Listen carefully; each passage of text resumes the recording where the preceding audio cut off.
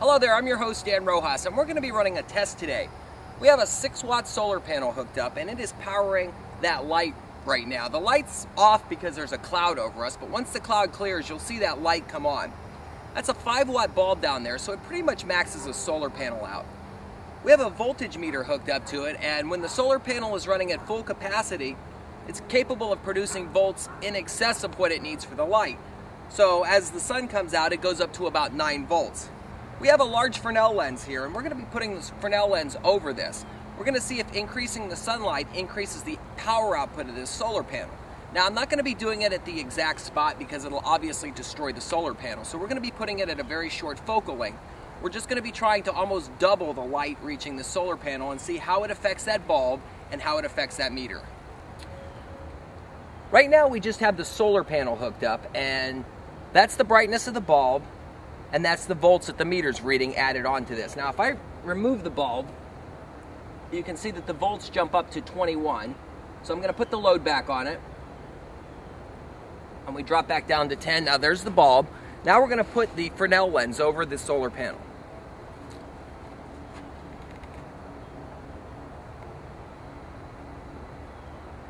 This is with the Fresnel lens focused over the solar panel. I'm going to intensify it a little bit, a little bit more.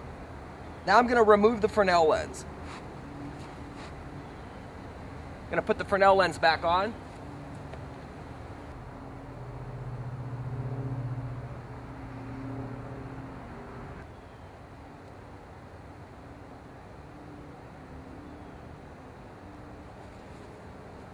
So you can see that's a pretty significant difference.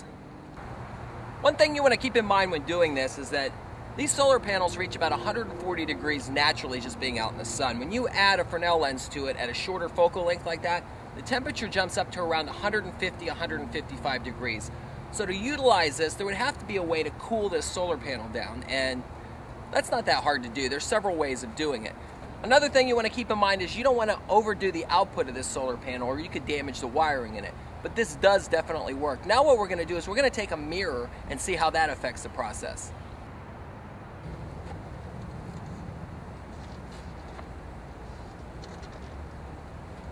That is with one mirror.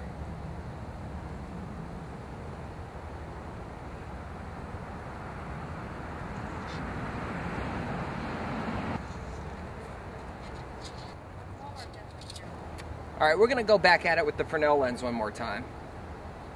I'm gonna put my hand over it and show you how it drops. That's me blocking it with my hand. Now I'm gonna put the Fresnel lens back over it.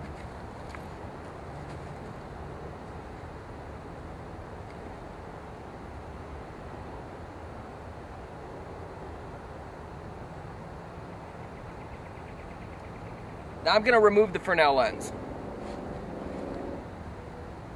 Fresnel lens back on. Fresnel lens off. So this is one way that you can increase the output of any solar panel. Again, you want to be careful not to overdo it because you can definitely damage these, but there's a fine line that can be drawn.